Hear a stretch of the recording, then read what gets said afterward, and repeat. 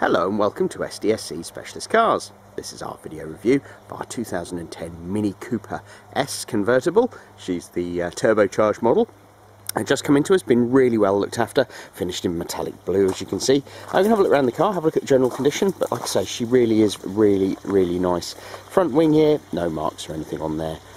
And the front wheel, really clean, look at that, really nice. Coming along the uh, driver's side, no marks or scratches, wing mirrors, really nice, no scuffs. There's a mark there, but it's actually a fly. Um, rear quarter, absolutely lovely as you can see. Lovely colour this car, absolutely lovely. Rear wheel there, spot on. Coming around the back of the car. Really nice, no scratches or marks or anything on here. Got the twin exhaust pipes hood also, it's in lovely condition, the hood.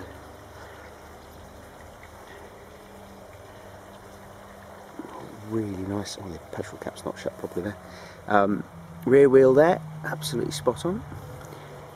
Coming along the passenger side, again, no marks or blemishes along here. Really is lovely. One tiny little mark just on the end of the... Oh, actually, that'll polish. Yeah, it's just a polish mark that'll come out. The shine on that. Look at the bonnet. Fantastic with the stripes on there. And the front wheel, absolutely perfect.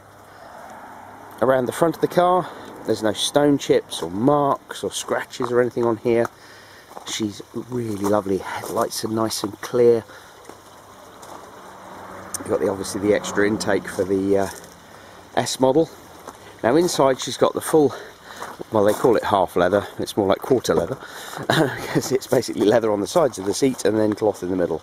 Um, but uh, I'm a bit partial to cloth seats. I used to always like leather but uh, um, cloth tends to um, always uh, uh absorb you more and you sort of mould to you. It's much more comfortable than leather especially uh, obviously leather's very hot in the summer and uh, freezing cold in the winter. Um, anyway stop waffling. Cruise control on the steering wheel here. We've got um, uh, telephone control module there. We've got uh, CD player, climate control, obviously electric uh, roof and everything, six-speed manual gearbox, sport mode down there, which tightens up the throttle response and the steering and everything. Obviously the extra trip up here. And if I just press the, uh, put the key in, press this one, which one is it? There we are, 67,745 miles. So nice uh, mileage as well. I'll take the key out. But the carpets and everything are all lovely as you see. Look in the door shuts, really nice. In the back of the car, doesn't look uh, like it's actually been sat in the back. The seats look uh, factory fresh. Driver's door card. All really lovely. Look at that. No marks or anything on there. Really clean. Uh, we'll come round have a look in the uh, passenger side.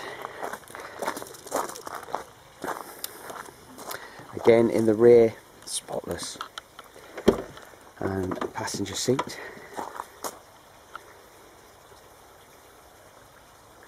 It's really funny the seats always look like they've got marks on them but uh, they haven't when you haven't got the camera on them. Whether it's the camera I don't know the dashboard. I'll open the bonnet while we're here. These actually have a Peugeot engine in these minis. It's the uh, Peugeot 1.6 turbo engine. That's a good engine. The um, previous Mini Cooper S's used to have uh, a Chrysler engine that was built in Mexico. It was a supercharged engine. That was another very good engine, but the fuel consumption was absolutely rubbish. Here we are, under the business end of the car. Turbocharger mounted slap bang in the front of the engine.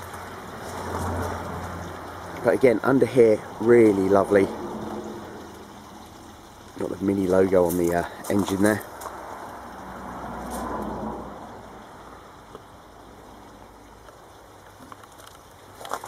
Like I say, been well looked after this car, really has and uh, she drives lovely. Um, should you have any more questions, please give me a call. My name is Stuart, and our website is www.sdsc.co.uk. Many thanks for watching.